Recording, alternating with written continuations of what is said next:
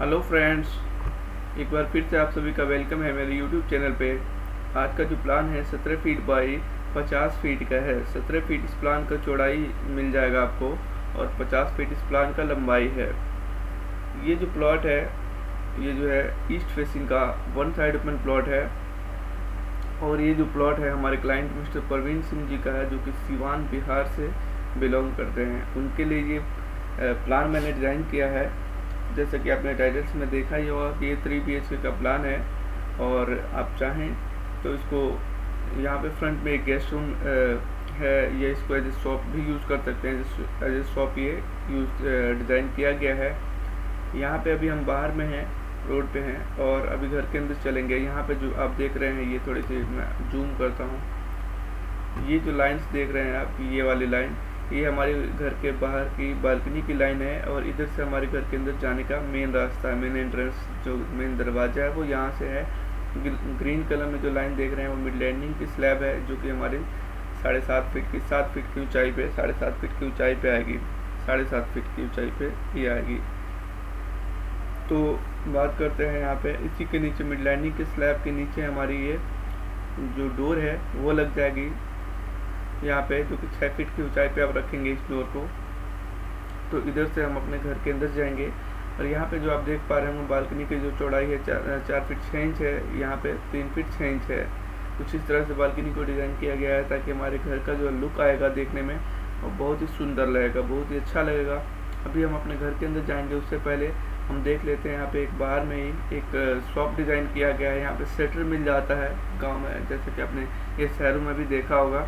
कि यहाँ पे सेटर लग, लगा होता है सेटर है यहाँ पे आठ फीट चौड़ा है सेटर का जो चौड़ाई होगा आठ फीट चौड़ा होगा और ये जो लंबाई है यहाँ पे नौ बाई ग्यारह का यहाँ पे गेस्ट रूम है माफ़ करें यहाँ पे जो ग्यारह फीट इसका लेंथ है और यहाँ पे नौ फीट इसका चौड़ाई है इसको एज ए गेस्ट अगर गेस्ट रूम आप यूज़ करना चाहें तो यहाँ पे आप सेटर नहीं लगा के यहाँ पे डोर लगा देंगे पूरी यहाँ पे दीवार लगा के यहाँ पे पूरी दीवार आ जाएगी और यहाँ पे डोर आ जाएगा और यहाँ पे एक विंडो लगा देंगे तो इसको एज ए गेस्ट रूम भी यूज़ कर सकते हैं।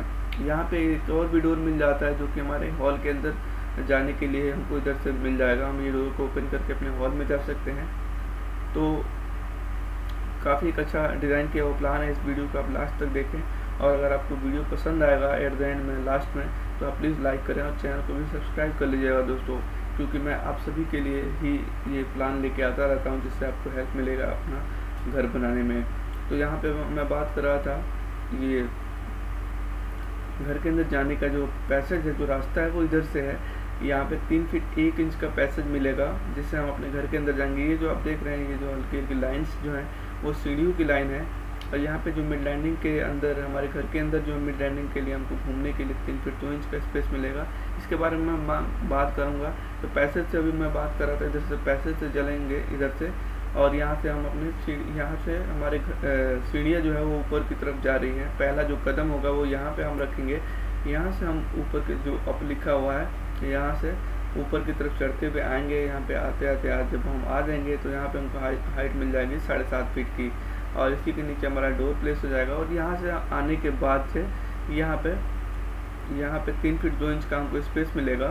जो कि हमारे घूमने के लिए कोई भी सामान, अधिक से अधिक सामान लेके हम घूम के इधर से आते हैं और इधर से घूम के इधर चले जाते हैं। तो ये हम ऊपर की तरफ़ जाएँगे। तो ये जो स्टेप्स होंगे, ये सीढ़ियाँ होंगी, वो यहाँ तक लगभग जाएँगी और इसके ऊपर की तरफ़ हमारी छत पर पहुँच जाएँगे और इसी के नीचे से हम अपने घर के अंदर जाएँगे। तो यहाँ पे पाँच फीट ग्यारह इंच हमको मिड लैंडिंग का स्लैब मिलेगा। यहाँ पे भी एक स्लैब मिलेगा। मतलब यहाँ पे भी एक छत टाइप से दिखेगी। और यहाँ पे भी ये छोटी सी छत दिखेगी यहाँ पे। और यहाँ पे एक छोटी सी, यहाँ पे ये बड़ी वाली बालकनी दिखेगी। तो दो छत दिखेगी यहाँ पे। एक तो जो हमारी बालकनी की जो ऊंचाई होगी ग्यारह फीट होगी, इसकी जो ऊंचाई होगी साढ़े सात फीट की होगी। क्योंकि काफ़ी एक अच्छा यहाँ से लुक बाहर से देखने पर लगेगा दो छत दिखेगा तो।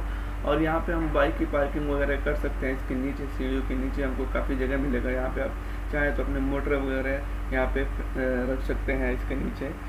और यहाँ पे आप चाहें तो अपना टैंक भी बना सकते हैं। सेप्टिक टैंक जो होता है, अगर आपके पास जगह नहीं है बाहर में तो यहाँ पे इसके नीचे यहाँ पे सेप्टिक टैंक बना सकते हैं। तो इधर से हम चलेंगे अपने सीधे हॉल के अंदर और यहाँ पे आपको मिल जाएगा काफ़ी बड़ा एक हॉल यहाँ पे डिज़ाइन किया हुआ है ये। यहाँ पे किचन एंड हॉल आपको मिलेगा यहाँ पे, जो कि नौ फीट इसका चौड़ाई है हॉल का। और यहाँ पे जो लंबाई की बात करते हैं तो चौदह फीट नौ इंच है। ये जो दरवाज़ा मिलेगा तीन फीट का चौड़ा, यहाँ पे दरवाज़ा डिज़ाइन किया गया तो चौदह फीट नौ इंच लंबा यहाँ पे डाइनिंग एंड हॉल मिल जाएगा। इसी के सामने से यहाँ पे कॉमन टॉयलेट एंड बाथरूम मिल जाता है। जैसे कि आप देख पा रहे होंगे कि यहाँ पे सोफे प्लेस किए गए हैं और इधर से भी हम अपने शॉप के अंदर या गेस्ट रूम जैसा भी आप यूज़ करना चाहें, इसमें जा सकते हैं। ये जो दरवाज़ा है, ढाई फीट चौड़ा यहाँ पे डिज़ाइन किया गया है। अब यहाँ पे अभी मैं बात कर रहा था, कॉमन टॉयलेट एंड बाथरूम यहाँ पे दिया गया है। तो जो कि हम अपने हॉल से कॉमन टॉयलेट एंड बाथरूम का इस्तेमाल कर पाएँगे। छः फीट एक इंच लंबाई है। जूम उसके लिए किया है ताकि आपको ये डायमेंशंस जो लिखे हुए हैं, जो यहाँ पे लंबाई और चौड़ाई जो लिखी हुई है, वो आपको आसानी से दिख जाए और आप आसानी से पूरी चीज़ों को समझ पाएँगे। यहाँ पे यहाँ पे वेंटिलेशन की बात करें तो जो फ़ैन जो है वो यहाँ पे लग जाएगा तो जो स्मेल होगा टॉयलेट एंड बाथरूम का, वो सीधे यहाँ से सीढ़ियों की तरफ़ निकल जाएगा। और यहाँ पे जो है, आगे चलेंगे तो यहाँ पे एक ओपन किचन डिज़ाइन किया हुआ है। जैसे कि आप देख पा रहे होंगे कि यहाँ पे डाइनिंग टेबल प्लेस किया गया है यहाँ पे आराम से यहाँ पे छः लोग बैठ सकते हैं अगर आप डाइनिंग टेबल को थोड़ा इधर की तरफ़ शिफ्ट करते हैं तो यहाँ पे ओपन किचन की बात करें तो आठ फीट लंबाई है छः फीट छः चौड़ाई है तो यहाँ पे भी एक काफ़ी बड़ा किचन मिल जाता है जो कि घर में काफ़ी एक यूज़फुल किचन होता है यहाँ पे आप चाहें तो यहाँ पे छत में ओ टी एस यहाँ पे डाल सकते हैं या चिमनी वगैरह यहाँ पे लगा सकते हैं वैसे ये ओपन किचन है तो यहाँ पे कुछ प्रॉब्लम नहीं आने वाला है तो चलिए बात करते हैं यहाँ से, आगे चलते हैं पैसेज देख लेते हैं यहाँ पे, तीन फीट छः इंच यहाँ पे, सात इंच तीन फीट सात इंच का यहाँ पे पैसेज है। तो इधर से हम अपने पैसेज होते हुए अपने इस बेडरूम में आएँगे, ये बेडरूम है। यहाँ पे ग्यारह फीट छः इंच लंबाई है, दस फीट इसका चौड़ाई है। यहाँ पे छः फीट बाई छः फीट का बेड प्लेस किया गया है और यहाँ पे इसके लिए इस दीवार पे यहाँ पे विंडो मिल जाएगा क्योंकि आगे यहाँ पे एक ओ है। ओ मतलब यहाँ पे एक साफ्ट है जो कि हमारे छत में यहाँ पे खुला रहेगा और बाद में जब कंक्रीटिंग करते हैं तो यहाँ पे खुला रखते हैं बाद में लोहे की जाल से इसको कवर कर देते हैं तो जिससे इसके अंदर रोशनी आती है और इस रोशनी की वजह से यहाँ पे विंडो ओपन करने से हमारे इस बेडरूम के अंदर भी उजाला रहता है चार फीट चौड़ा यहाँ पे विंडो दिया गया है जो कि काफ़ी बड़ा विंडो है यहाँ पे बात करते हैं पैसे से आगे चलेंगे तो अपने मास्टर बेडरूम में चले जाएँगे यहाँ पे आ जाते हैं मास्टर बेडरूम में तो यहाँ पे तीन फीट चौड़ा यहाँ पे दरवाज़ा मिलेगा और यहाँ पे बेडरूम का जो साइज़ है यहाँ पे दस दस फीट इसका चौड़ाई है, ग्यारह फीट इसका लंबाई है सेम ही साइज़ का यहाँ पे भी है।